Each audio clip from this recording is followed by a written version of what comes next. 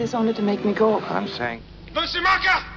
is looking at you, kid. Trecem printr-o perioadă în care aversiunea pentru tot ce este rusesc este la înălțimi record. Sigur, totul e pus pe seama atrocităților pe care le vedem în Ucraina, dar aș vrea să vă reamintesc că rușii sovietici au făcut mai multe atrocități de-a lungul timpului, chiar mai grave.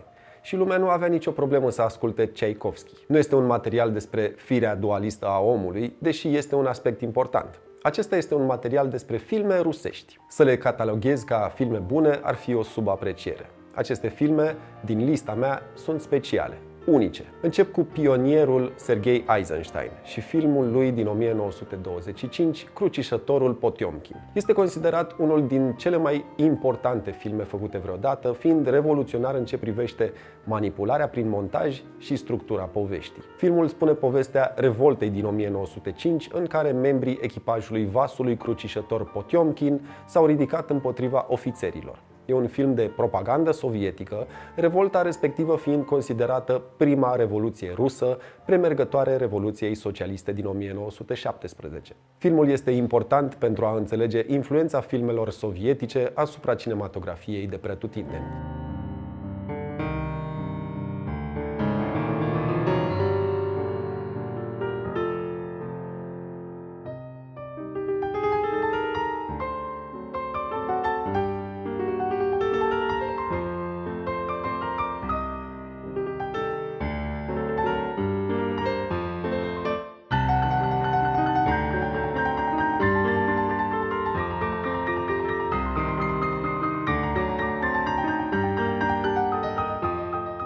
Mergem mai departe cu un film al celebrului Andrei Tarkovski, despre care, dacă nu ați auzit nimic, vă recomand să îi căutați numele pe Google chiar acum și să vă apucați de cele șapte filme pe care le-a regizat. Dintre ele, dacă nu aveți chef de toate, vă recomand Călăuza, din 1979. SF-ul suprem, cu filozofie și poezie în film, Călăuza este un film unic. Singurele filme comparabile cu el cât de cât sunt făcute de același regizor. În Călăuza este vorba despre un bărbat care călăuzește oameni într-un loc secret și special numit Zona. Un film complex și cu un ritm lent, dar care la finalul vizionării te va pune pe gânduri, mai mult decât orice film până la el. Garantez asta. Andrei Tarkovski a influențat la rândul lui pe toți care l-au succedat. Nu există vreun autor de film care se ia în serios care să nu fi fost influențat de Tarkovski.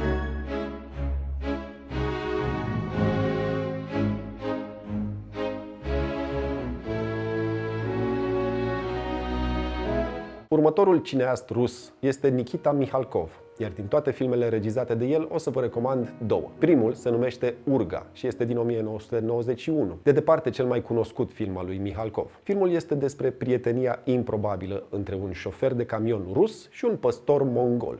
Între cei doi se dezvoltă o relație de interdependență în pofida unei prăpăstii culturale și lingvistice. Filmul este frumos, vorbește despre bunătatea din oameni și despre elementele improbabile care ne leagă.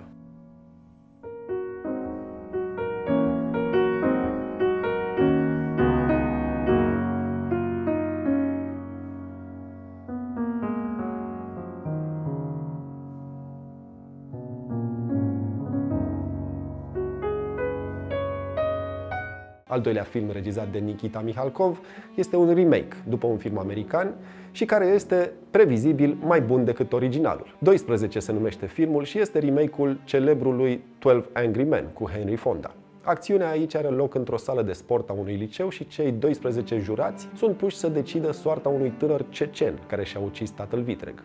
Filmul o să te țină cu ochii mari pe tot parcursul și o să-ți placă, cu siguranță. Puține filme am văzut cu dialoguri mai bine scrise decât aici.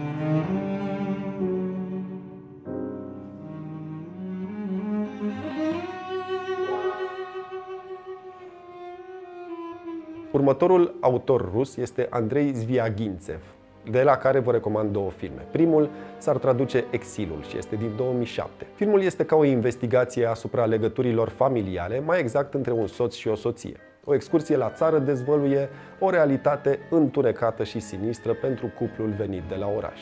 O să găsești mai multe superlative în film, printre care actorie impecabilă, imagine superbă, o atmosferă specială și, chiar dacă ți se va părea că poate ceva nu se leagă în poveste, până la final o să fii surprins plăcut.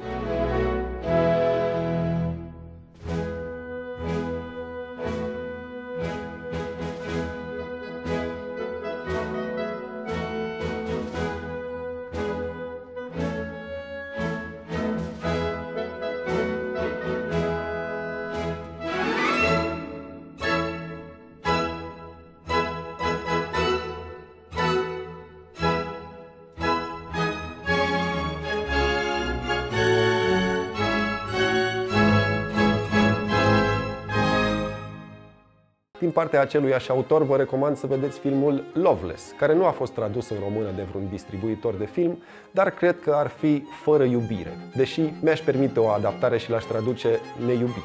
Andrei Zviaghințev descrie încă o dată umanitatea brutală și dezordinea lumii, portretul unei familii în care nu există iubire. Povestea se concentrează asupra doi părinți separați, a căror relație lipsită de iubire este degradată într-o stare de amărăciune și ostilitate.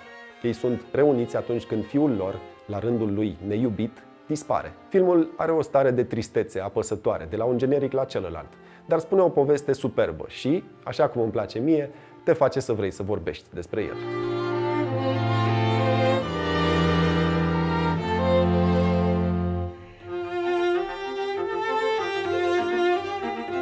Acestea au fost doar șase filme rusești ale unor autori celebri, dar evident sunt mult mai multe filme foarte bune. Ceea ce mă face să te invit să-mi spui în comentarii ce film rusesc crezi tu că e cel mai bun. Și mai e o chestie.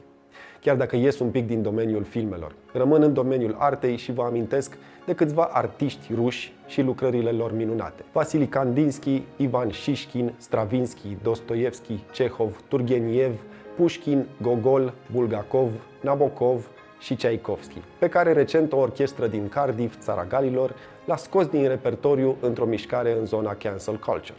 Fiți atenți! Arta nu trage cu arma. Ce face artistul este treaba lui, dar arta nu face rău. Niciodată nu a făcut. Vizionare plăcută!